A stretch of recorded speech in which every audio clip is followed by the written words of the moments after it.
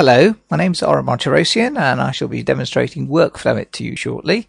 Uh, and for this demonstration, I will be using a purchase ledger invoice and how that may be routed along your organization and then uh, be accessed through Sage. The system is designed so that you get away from having lots of papers and files and use scanned soft copies of documents uh, within your organization. Uh, obviously, finding these documents is key, and we have the concept of user defined indexes, which will then allow you to get to the data very quickly. Uh, as data is the heart of the company, uh, the system has been set up so that you can access any of your data from any browser from within the organization or from externally from outside the organization using either a virtual private network or a hosted scenario. So what Workflow aims to do is to move away from paper in filing cabinets to searchable data that's accessible from any time at anywhere. Workflow is part of our Capture It uh, set of modules, and that covers everything from designing forms to deploying them simultaneously via paper, tablet, or via the internet. Uh, the data can then be captured either via a scanner, any other database, or using the web server, uh, and is consolidated before being then used in WorkFlow-IT uh, to allow the data to be passed uh, securely and in a controlled fashion into Sage, uh, as well as additional reporting um, that can be taken out on that particular data. So it has many, many uses. So, for example, on the sales ledger side, it could be used to just um, keep details of uh, credit control, i.e., chasing. Uh, it could be used to retrieve uh, copies of invoices quickly.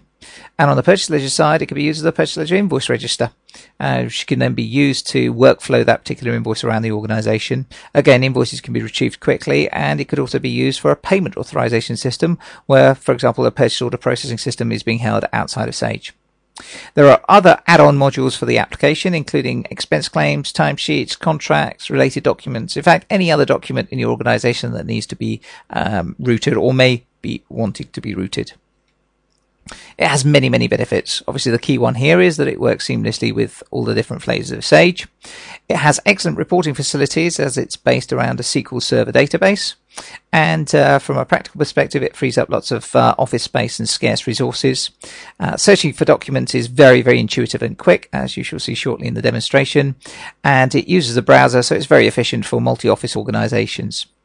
Also, as business processes are uh, defined, the documents can be tracked uh, and uh, uh, and moved along the business process from user to user, and scanned documents are routed uh, rather than paper copies, so it's a lot more efficient. There is an optional hosted site to do out of office access to the data, and that can be done from anything from an iPhone to a netbook.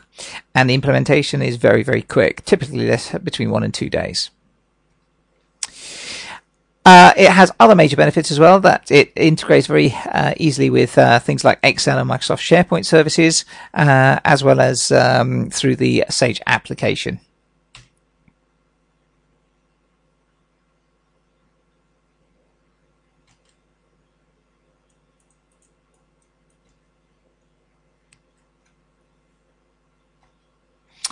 So how does it work? The system is based around indexes. So in this particular example, I have an invoice and I've decided that I'll be able to search on it on the invoice number, the invoice date, or the code.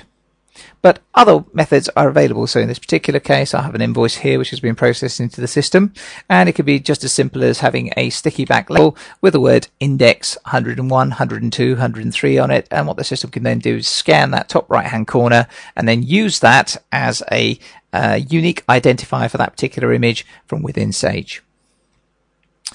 Uh, all the reports can uh, be accessed using a browser, and from within those reports, you can also use it to launch particular documents. So, in this particular case, I've got a sales invoice report, and I can use the launch buttons on the bottom right hand corner to view either the TIFF variant of that invoice or the PDF variant of it, so that it then basically pops up from wherever you are, and you can then see the invoice as you would do back in the office. The data can then be also exported using reporting services in different flavors. So it can be anything from a PDF to an Excel spreadsheet to a, uh, Adobe Acrobat format. The links within Sage are also very easy. So in this particular example, I have Sage 500 version 6 on the left-hand side, where Red IT Workflow is a standard menu option uh, on the application. And by just clicking on it, uh, the WorkFlow-IT Search It application then starts on the right-hand side in a browser. And we shall have a look at that in a second. So let's go and have a quick look at the document. The so here we are. So this is uh, an example of a transaction uh, looking at an invoice that's been posted in a, a supplier's account called QUD01. And as you can see, the second reference there is 104, and uh, it's an invoice that's been posted. So what I can do here is just uh, basically uh, look at that particular data from within Sage, or uh, I can then have this extra menu option here, which I can then double click on, which then opens up the browser. And that basically shows me uh, the uh, workflow application and it's split into tabs at the top with a home area an upload area which then brings in the scanned images and then by uploading the records you then uh, allow that uh, the system to use those images. So in the workflow it tab that's where most of the work gets done. So in this particular case I have the ability to uh, pick up any particular company or pick up any particular supplier or pick up any particular invoice that I may be interested in and I can then basically do anything that I wish with it. So for example what I may decide to do is take this particular invoice number three and I can either then process it, reject it, query it, or workflow it. So by workflowing it, I can then just click onto the workflow button, which then makes this visible, and I can then just say, please check coding, and then route that to another colleague of mine, so that could go to Colin, for instance. And that then is in his inbox. So what he can do is he can then log in, uh, look at that particular document, uh, click on it and say, oh, okay. Yeah. So let me have a quick look at that image. So he can then click onto the view button, which then goes and just opens up the image and then he can then take appropriate action. Having done that, he can either then pass it on to somebody else or he can uh, workflow it uh, or reject it or process it. That, uh, the um, sync it tab then links that within Sage and uh, the Options that are available to you here are that it can also operate across multiple Sage companies, and uh, the only thing you need to worry about is a list of users who you may wish to use for the workflow application. Having done that, then the system can then allow you to an application that I'm after or a particular invoice that I was after. So in this particular case, I may want to have a look at, uh, I don't know, all the uh, BT invoice, or I may wish to have a look at uh, a particular uh, invoice in, in question. So I can go and have a look at, uh, I don't know, number 201, and that'll go and bring that immediately for me to, to have a look at. Or I can just have a look at the different statuses, and the statuses can be either processed, queried, or workflowed. And uh, over here, all of these particular screens have got hyperlinks on the. I can easily find everything that's been queried or everything that's been workflowed. Common uh, and um, uh, in a similar manner, I can find everything that has been allocated to a particular user uh, or for a particular supplier, which makes finding things very, very easy. There's a full history within the application so that I can immediately see what has happened to a particular transaction. So uh, I can have a look at uh, a particular invoice.